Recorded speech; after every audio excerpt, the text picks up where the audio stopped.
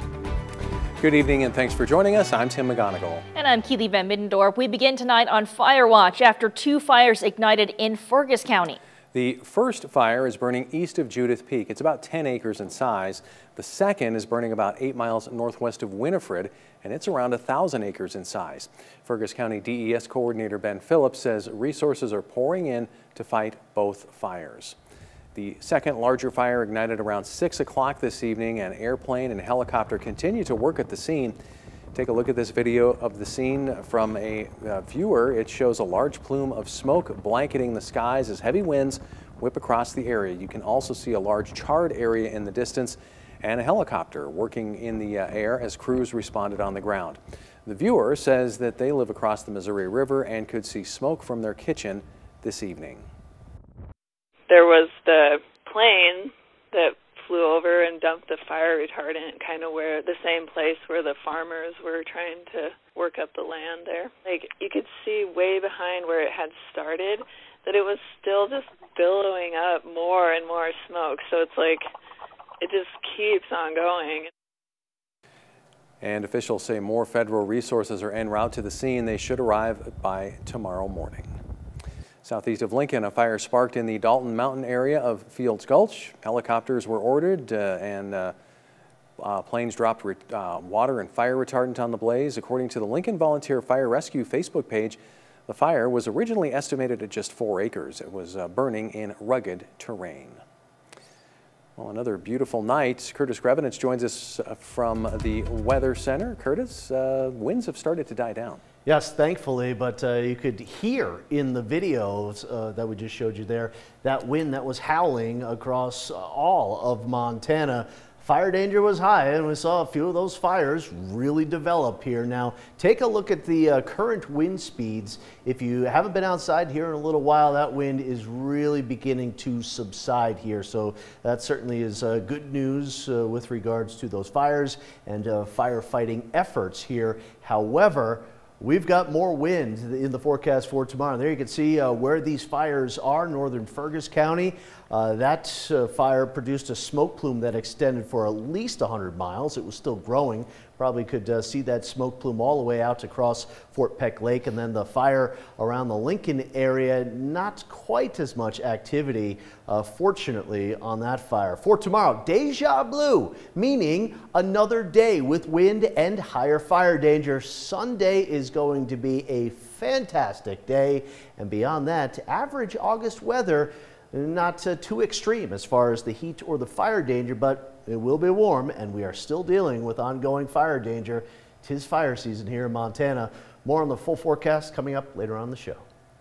Thanks, Curtis. We'll check back in with you soon. Tonight, health officials announcing the fourth COVID-19 related death in Cascade County. This one is not related to the recent outbreak in Great Falls at a long-term care facility. The individual was a male over the age of 65 with underlying health conditions. This brings the death toll to 72 now. More than 1,500 active cases across the state with 50 here in Cascade County. Hill County sitting with 21 tonight, Glacier County with 17, and remember, the governor's order face coverings are required in public places in counties with more than four active cases. So Chouteau County, this means you as well. You're sitting at five active cases. Big Sky Conference football fans will have to wait to get their fix. This morning, the league officially announced it will postpone its conference football season to the spring of 2021. The league announced that non-conference uh, play is still pending further review and the Big Sky is exploring modified versions of its conference football schedule in the spring. The league also supports shifting the FCS playoffs to the spring of 2021. According to a Big Sky release, other fall sports will continue to be reviewed with the final decision made at a later date. It's been a long wait for Grizz fans and players in Montana as we waited to hear that final decision regarding the 2020 season. With COVID-19 still very present in our lives, but now that decision to play in the spring. MTN's Jack Ginsburg has more on today's announcement. Obviously, a uh, difficult decision for us as a conference. We took a lot of time. A lot of input from a lot of people, uh, but feel really good about us keeping, you know, again, the health and safety of our student athletes and coaches at the forefront uh, of our decision. Just a few hours after that decision, the University of Montana held a press conference with athletic director Kent Haslam, head coach Bobby Hauck, and two team leaders, Jace Lewis and Sammy Kemp, to talk about that move. Our players, our coaches, uh, really probably the entire state of Montana are disappointed and, and frankly probably pretty depressed that we aren't playing. And to not be able to go is a really bitter pill, uh, especially when you got a team that's uh, as tight as this one is uh, is as well prepared as this one is and is loves each other as much as these guys do. It's the first time that Grizz football will miss a season since World War II in 1943 and 44. Not only is it disappointing for the players to not have a fall, but especially this year with this Grizz group that boasted some impressive talent heading into 2020. We, we put in the work every day. We work hard. We work tirelessly to be able to go out there and do the play the game that we love. So I mean, everybody sees the talent. I mean, we don't have to tell you what kind of talent we got on this team to know that we were ready and we were going to be ready and we, we're, we're going to be good. I don't know. I've been here, what, five years, and this is probably the closest team we've had, I think, since I've been here.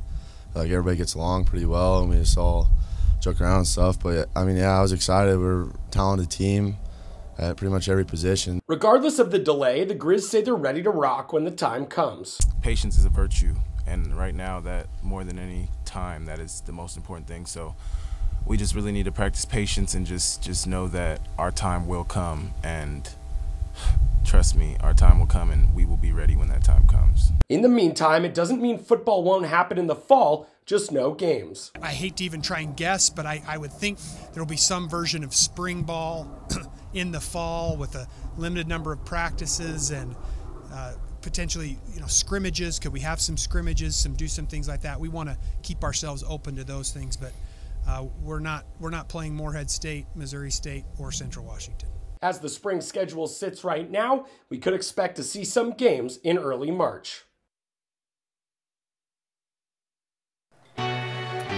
Still ahead, we get local reactions as Campaign 2020 heats up. That story just ahead.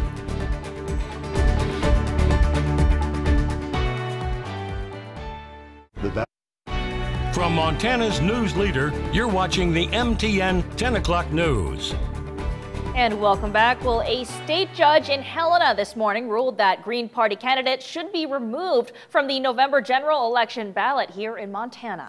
District Judge James Reynolds ruled today that the petition that led to the Green Party's qualification in March is invalid. The Montana Democratic Party had challenged the petition. It said more than 400 signers of the petition were improperly denied their right to withdraw their signatures after they discovered the Montana Republican Party secretly backed the effort. Reynolds agreed and said if those withdrawals are honored, the petition does not have enough signatures to qualify the Green Party for the ballot. He also said the state Republican Party engaged in constructive fraud by not initially revealing its backing of the petition drive to gain an electoral advantage. The state GOP says it properly disclosed its role and called Reynolds an activist judge. If Reynolds' decision is not challenged or overturned, five Green Party candidates will not appear on the November 3rd general election ballot, including ones for U.S. Senate, U.S. House, and governor. And it's only August, but the money that will be spent on Montana's high profile U.S. Senate race is already stacking up in excess of $50 million and from multiple sources. So, where's it all coming from? MTN's chief political reporter Mike Dennison gives us the rundown. First, let's talk about the money raised by the two main candidates Republican Senator Steve Daines and his challenger, Democratic Governor Steve Bullock. In just five months, Bullock has raised $11 million.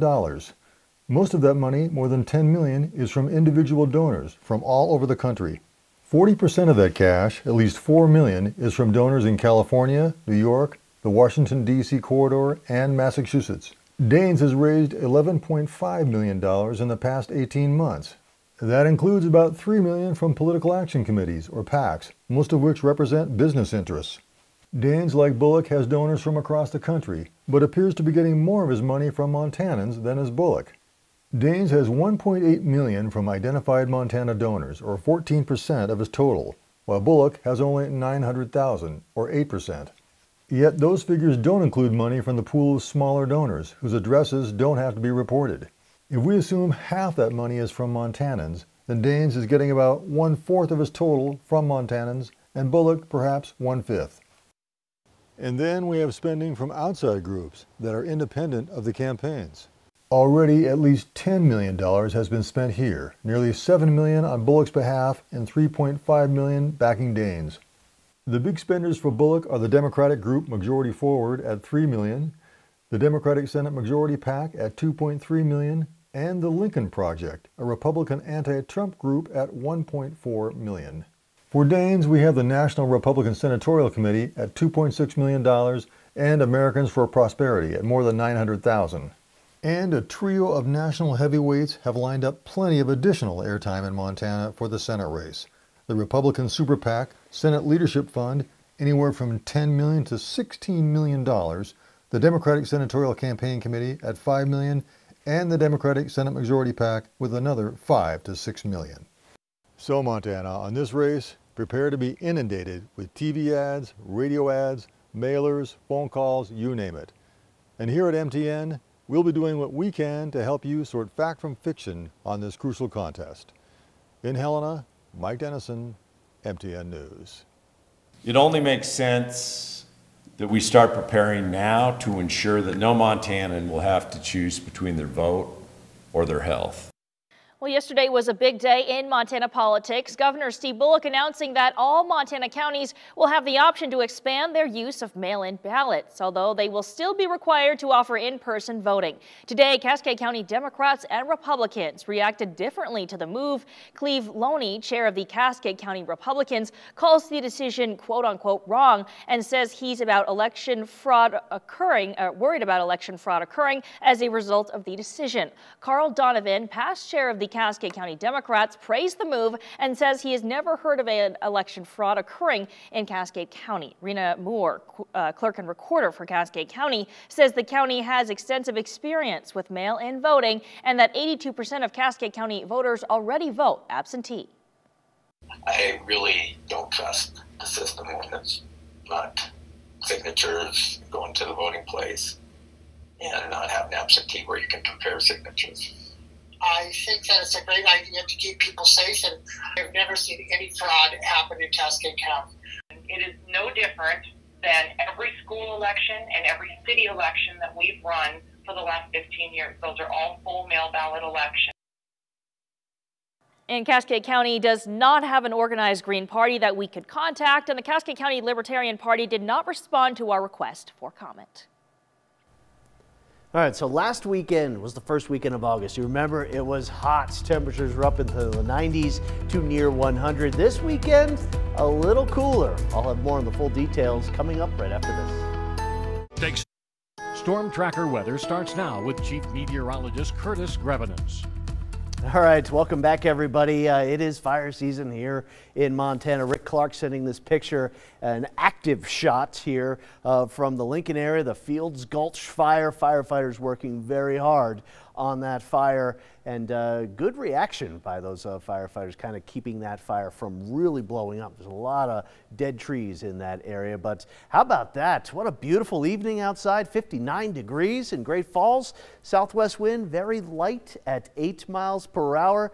It's always nice to walk outside after the wind has died down and kind of feel the calm conditions. 50s and 60s here uh, throughout a lot of the state. And there's the wind really beginning to subside. We had some gusts up around 40 miles per hour in Great Falls, 64 mile per hour wind gust in the East Glacier area earlier today. Now, really no issues with any thunderstorms today. The thunderstorms yesterday produced the lightning strikes that may be the cause for some of these fires. Again, we've got that fire up near the Missouri Breaks here northwest of uh, the Winifred area. That fire produced a, a, pretty good amount of smoke here as a thousand acre fire tends to do and uh, nowhere near the size of that fire here is uh, the Fields Gulch fire to the south southwest of the Lincoln area. But again, it's in some rugged terrain and uh, saw some photos of what the firefighters are trying to hike through. A lot of just down trees and uh, very uh, difficult situation for those firefighters to, to fight that fire. So there goes one front. Here's tomorrow's front. It arrives a little later in the day, so the wind will take its time picking up, but it will increase once again uh, tomorrow. Looking across the country, uh, we've got fire danger in the west and then flooding back east here. A lot of the east coast inundated with rain here recently, and uh, they don't need any more moisture send it our way here uh, because we don't really have much in the forecast anytime soon. Tonight, skies mainly clear and Keep in mind, too, over the next week, week and a half, the Perseid meteor shower uh, begins to really ramp up here. Should be able to see dozens of meteors per hour, depending on uh, sky conditions, but it's mainly clear tonight, and we don't really have a lot of haze or smoke. Tomorrow, partly cloudy skies as that mainly dry front comes through, the wind increasing through the afternoon. Still even a little wind tomorrow night into Sunday morning, but Sunday, that wind uh, should uh, settle down a little bit. Far northeastern Montana, uh, eastern sections in the state still may hold on to some of that wind into Sunday afternoon. But uh, there's the wind, quiet tonight, but picking up again tomorrow through the afternoon. Maybe not as bad as it was today, but still some strong winds that could aggravate the fire situation. Look at these lows tonight. Cool temperatures also will kind of help uh, settle those flames down a little bit. Here's the forecast for tomorrow. A dry front coming through, a little warmer with uh, the temperatures getting up into the 80s. And again, high fire danger through the afternoon. Sunday, high pressure moves in and Look at this. We haven't uh, had a, a, cool day like this in about a month or so, really since the beginning of July, with highs only 71 in Hayes, 72 in Lewistown, mid 70s, a low to mid 70s for Cut Bank and Great Falls. For Monday, temperatures start to come back up into the 80s, and Tuesday, we're back into the upper 80s and lower 90s, but really nothing that far fetched here uh, for August. So Fire danger tomorrow. Watch out. Please be careful. 81, but enjoy the nice day. Sunday, a great day. Monday, Tuesday, Wednesday, we're back into the 80s. Only a couple of isolated thunderstorms possible on Thursday, and we could have another cool down down into the 70s next Friday. Still to come, the challenges of trying to fundraise during a pandemic. See how Big Brothers, Big Sisters are making it happen.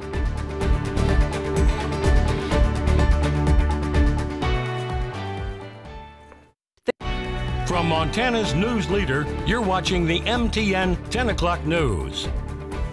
The COVID-19 pandemic has presented many challenges for local and national nonprofits that rely on annual social fundraising events for revenue. MTN's Tom Wiley tells us how one organization is adapting to the new norm. 36 teams teed off Friday afternoon at Eagle Falls for the annual Big Brothers Big Sisters Golf for Kids Sake fundraiser. It might seem like a typical event, but during the COVID 19 pandemic, it takes on more importance. We're really excited that we were able to go forward this year um, in, in the full capacity and not have to turn it into a virtual event. A lot of fundraising in the nonprofit industry has really been affected this year by the COVID outbreak. In May, the organization had to alter their signature Wine Crush event in Helena to a virtual format, but the communities they serve stepped up. We have had to adapt some of our events and think outside the box. Um, and it's a generous community, and our donors have still been there to support it. Um, so we're, we're confident that we'll be able to, to figure things out as needed and uh, still, still um, generate the money that we need to support the kids that we serve. And that mission has never been more important. We're finding that at a time like this, it's even more important for the kids that we serve and the families we serve to still have a mentor in their lives. Uh, so some sometimes we've had matches meeting on FaceTime or using some other online platform. Um, a lot of our bigs have told us that um, it just had an, a huge impact on their lives, and we know that it has uh, just an amazing impact on the kids that they're matched with. Tom Wiley, MTN News. As of now, Big Brothers Big Sisters of Helena and Great Falls is still planning its annual Bowl for Kids' Sake event in February. Well, coronavirus has forced many businesses in the U.S. to adapt, but for one central Montana business, expanding and adapting is their specialty. MTN's Isaiah Dunk takes us to Winifred. Welcome to Winifred, population just under 200 and home to one of the most prolific wholesale sign businesses in the Northwest. Midstate Signs has been around since 2009 and makes just about any kind of sign, from channel lettering and electric signs to clothing. Equipped with state-of-the-art technology and a personalized approach, They even do business for other sign companies. When we started the business, uh, was, the main focus was kind of retail, um, and quickly we shifted into wholesale because uh, we realized that we were having equipment that nobody else had, and uh, that fits our needs a lot better being remote. Since 2009, Midstate has only gotten bigger. It now has 10 full-time employees, and you can find their work in Idaho, Wyoming, the Dakotas, and even Arkansas and Ohio. It's also gotten more diverse. In the last two years, it's added a coffee shop and a new retail floor, more production space in the basement, and even three apartment units. And now with COVID-19, there's a new market, face masks. I, I came back to the shop from delivering signs somewhere and I said, I hate going into stores with people when they all have masks on because it might be somebody I know but I don't recognize them. I said, we need to like print a face onto a mask or something. So that's kind of where it came from. And the masks are getting more popular. Doing them for events, we're doing them for um, for different companies. Uh, everybody, you know, if you have if you have to supply masks for your employees, uh, a lot of companies are having us put their the name of their company on the mask. Uh, and they might do two or three masks for each employee kind of thing. So we're having orders instead of one or two or three, we're having orders of 100, 200 at a time. With COVID-19 cases continuing to increase, Wichman expects the masks to be part of the plan for a while. In Winifred, Isaiah Dunk, MTN News. Well, a grill focused around Great Falls founding father will be opening up in the Electric City. Owner Brett Haverland tells MTN the former Beef O'Brady's location has undergone recent changes. The new sign is up for P. Gibson Sports Grill and Casino, and construction continues. They've dropped the corporate Beef O'Brady's franchise and are now focused on being locally owned and locally branded. We don't have an opening date just yet. Stay with us for the latest updates. And don't go away, we'll be right back. A refreshing start tomorrow with fairly light wind, but that wind will increase through the afternoon. Some gusts could go all the way up to as high as possible. Some winds could go as high as about 25 to even 30 miles per hour. Just watch the fire danger tomorrow. Here's a look at the seven day forecast. Sunday, what a refreshing August day with highs only in the low to mid 70s, lighter winds. Enjoy it because the heat is back next week with temperatures pushing 90 by Tuesday and Wednesday.